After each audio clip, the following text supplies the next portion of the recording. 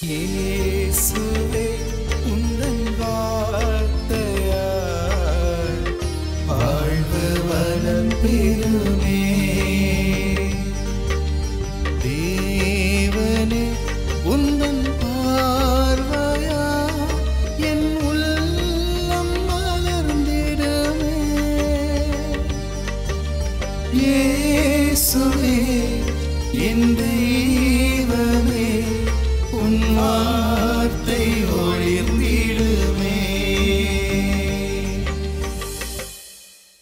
முதல் வாசகம். திருத்தூதர் பவுல் திமோதேயுவுக்கு எழுதிய முதல் திருமுகத்திலிருந்து வாசகம். அதிகாரம் இரண்டு இறை வசனங்கள் ஒன்று முதல் எட்டு வரை. அனைவருக்காகவும் மன்றாடுங்கள் இறைவனிடம் வேண்டுங்கள். பரிந்து பேசுங்கள். நன்றி செலுத்துங்கள். முதன் முதலில் நான் உங்களுக்கு தரும் அறிவுரை இதுவே. இறைப்பற்றும் கண்ணியமும் நிறைந்தவர்களாய் தொல்லையின்றி அமைதியோடு வாழ அரசர்களுக்காகவும் உயர் நிலையிலுள்ள எல்லா மனிதர்களுக்காகவும் மன்றாடுங்கள்.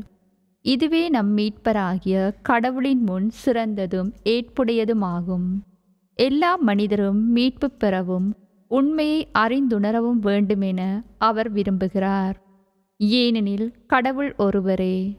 கடவுளுக்கும் மனிதருக்கும் இடையே இணைப்பாளரும் ஒருவரே. அவரே இயேசு கிறிஸ்து என்னும் மனிதர். அனைவரின் மீட்புக்காக அவர் தம்மையே ஈடாகத் தந்தார். குறித்த காலத்தில் அதற்கு சான்று பகர்ந்தார். இதற்காகவே நான் நற்செய்தியை அறிவிப்பவனாகவும் திருத்தூதனாகவும் விசுவாசத்தையும் உண்மையையும் பிற இனத்தாருக்கு கற்பிக்கும் போதகனாகவும் ஏற்படுத்தப்பட்டேன். நான் சொல்வது உண்மையே. பொய் அல்ல. எனவே ஆண்கள் சினமும் சொற்பூசலும் இன்றி எவ்விடத்திலும் தூய உள்ளத்தோடு கைகளை உயர்த்தி இறைவேண்டல் செய்யுமாறு விரும்புகின்றேன். இது ஆண்டவர் வழங்கும் அருள்வாக்கு. புனித லூக்கா எழுதிய தூய நற்செய்தியிலிருந்து வாசகம். அதிகாரம் ஏழு இறைவசனங்கள் ஒன்று தொடக்கம் பத்து முடிய. அக்காலத்தில் இயேசு கப்பர்நாகுமுக்கு சென்றார். அங்கே நூற்றுவ தலைவர் ஒருவரின் பணியாளர் ஒருவர் நோயுற்று சாகும் தருவாயிலிருந்தார். அவர் மீது தலைவர் மதிப்பு வைத்திருந்தார். அவர் இயேசுவை பற்றி கேள்விப்பட்டு யூதரின் மூப்பவர்களை அவரிடம் அனுப்பி தம் பணியாளரை காப்பாற்ற வருமாறு வேண்டினார். அவர்கள் இயேசுவிடம் வந்து நீர் உதவி செய்வதற்கு அவர் தகுதியுள்ளவரே அவர் நம் மக்கள் மீது அன்புள்ளவர். எங்களுக்கு ஒரு தொழுகை கூடமும் கட்டித் தந்திருக்கிறார் என்று சொல்லி அவரை ஆர்வமாய் அழைத்தார்கள். இயேசு அவர்களோடு சென்றார். வீட்டுக்கு சற்று தொலைவில் வந்து கொண்டிருந்த போதே நூற்றுவ தலைவர் தம் நண்பர்கள் சிலரை அனுப்பி பின்வருமாறு கூற சொன்னார். ஐயா உமக்கு தொந்தரவு வேண்டாம். நீர் என் வீட்டிற்குள் அடியெடுத்து வைக்க நான் தகுதியற்றவன். உம்மிடம் வரவும் என்னை தகுதியுள்ளவனாக நான் கருதவில்லை. ஆனால் ஒரு வார்த்தை சொல்லும் என் ஊழியர் நலமடைவார். நான் அதிகாரத்துக்கு உட்பட்டவன். என் அதிகாரத்துக்கு உட்பட்டவை படைவீரரும் உள்ளனர்.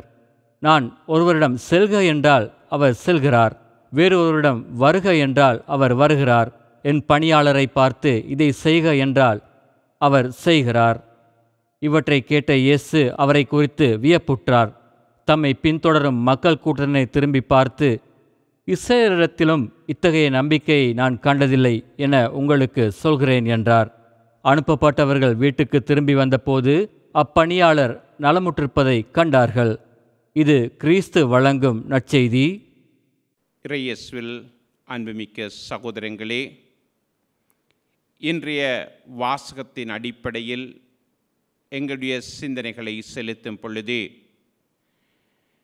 நாங்கள் எங்களை காக்கும் இறைவனை இறந்து மன்றாடுவது நல்லதாக இருக்கின்றது.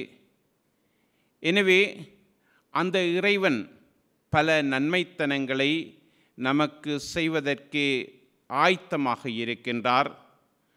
அவர்தான் எங்களுக்கு ஒரே கடவுளும் எங்களுக்காக பரிந்து பேசுவருமாக இருக்கின்றார். எனவே தங்களுடைய ஒரு பொறுப்பதிகாரி செஞ்சூரியன் நல்ல மனிதன் அவன் இறையேசுவை அணுகி தன்னிடம் வேலை செய்கின்றவர் குணவ குணவா வேலை செய்கின்றவர் வியாதியால் பாதிக்கப்பட்டு இருக்கின்றார். எனவே அவரை ஆசீர்வதித்து காக்கும்படி இரவிடம் ஆட்களை அனுப்புகின்றார். எனவே அவருடைய நல்ல செயல்களுக்காக கிறிஸ்து அவருடைய இல்லத்துக்கு செல்ல ஆயத்தமாகும் பொழுது தன்னுடைய இல்லத்திலே கிறிஸ்துவை வரவேற்க நான் தகுதியற்றவன் என்பதை உணர்ந்து அவருடைய வார்த்தைக்காக மட்டும் காத்து இருக்கின்றார். அவருடைய வார்த்தையிலே நம்பிக்கை வைத்து அவர் ஒரு வார்த்தை சொன்னால் அந்த வார்த்தையூடாக தன்னுடைய ஊழியன் குணமடைவான் என்ற நம்பிக்கையோடு அவர் அங்கே தன்னுடைய விசுவாசத்தை வெளிப்படுத்துகின்றார்.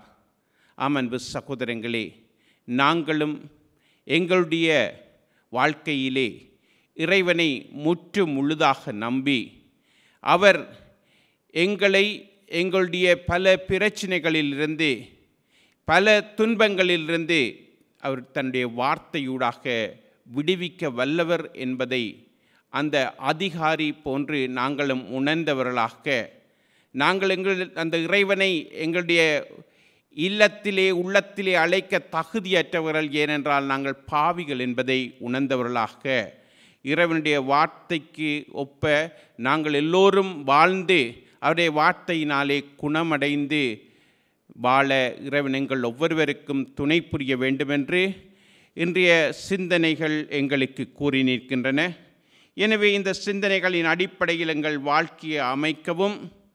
இன்றைய நாள் எங்கள் ஒவ்வொருவருக்கும் நல்ல நாளாக இருக்க இறைவன் துணை புரிய வேண்டுமென்று இன்றைய நாளிலே நான் உங்கள் எல்லோருக்காகவும் வேண்டி நிற்கின்றேன்.